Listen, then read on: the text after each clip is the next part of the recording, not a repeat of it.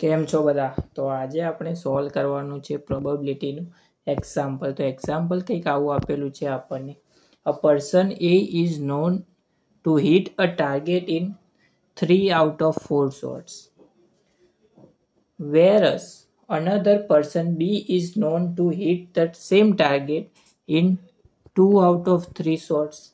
Find the probability of target being hit at all when they both try. અહીંયા આગળ આપણને target એ એટલે probability એ. કેટલા ટાર્ગેટ હિટ થાય?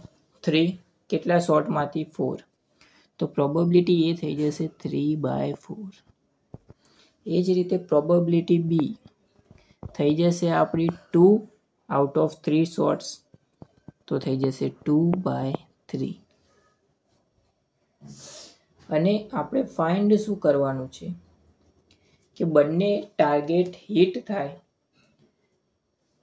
એના માટેની possibility find the probability the target being hit at all when તે both try બંને ટ્રાય કરે અને બંનેના ટાર્ગેટ હિટ થાય એના માટેની પ્રોબેબિલિટી તો એ એન્ડ બી માટે આપણને એ ઓર બી માટે આપણને ફાઇન્ડ કરવાનું તો આપણે ફાઇન્ડ કરવાનું એ યુનિયન બી એની ફોર્મ્યુલા આપણને ખબર છે. જોઈએ કઈ રીતે સોલ્વ કરીશું આપણે.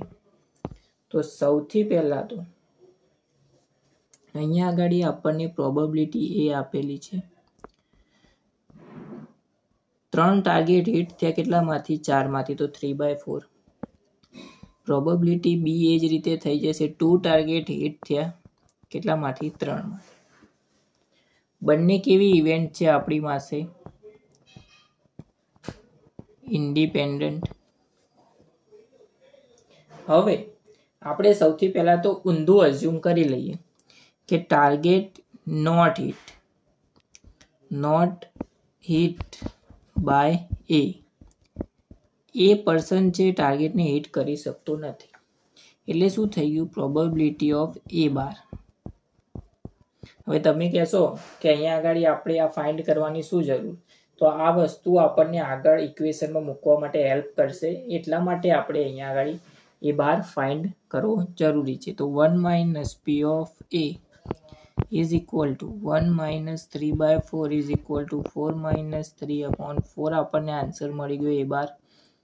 One by four એ જ રીતે બી માટે એ ફાઇન્ડ કરી નાખીએ.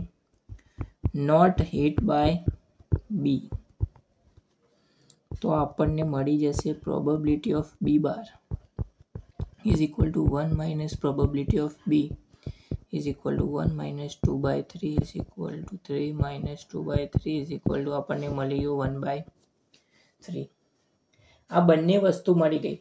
આપણે ફાઇન્ડ ઓવરઓલ શું કરવાનું હતું? પ્રોબેબિલિટી એ યુનિયન બી બરાબર છે. તો એના માટે આપણે શેની જરૂર પડશે?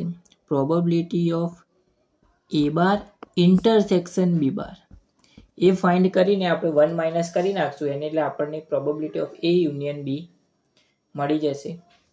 તો અહીંયા આગળ થઈ જશે probability of A bar into probability of B bar બંનેની વેલ્યુ આપણે ફાઇન્ડ કરી નાખી. One by four into one by three તો આપણને આન્સર મળી ગયો વન બાય ટ્વેલ્વ એની વેલ્યુ આપણે પ્રોબેબિલિટી ઓફ એ યુનિયન બીમાં મૂકી દઈએ તો આપણને જે આન્સર ફાઇન્ડ કરવાનો હતો એ મળી ગયો.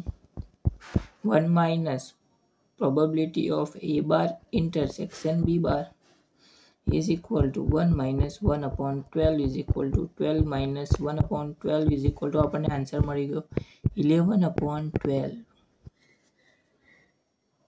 હવે તમે કહેશો કે આ જ વસ્તુ આપણે સર, બીજી રીતે પણ ટ્રાય કરી શકીએ. તો બીજી કઈ મેથડ છે? Second method probability of A union બીનું simple formula આપણને ખબર છે. Probability of A plus probability of B minus probability of A intersection B બધાની વેલ્યુ આપણને ખબર છે. Probability of A plus probability of B આના માટેની ફોર્મ્યુલા આપણને શું આપેલી છે આપણને ખબર છે? Probability of A into probability of B આ આપણે ત્યારે જ લખી શકીએ જ્યારે બંને કેવા હોય? ઇન્ડિપેન્ડન્ટ હોય ત્યારે.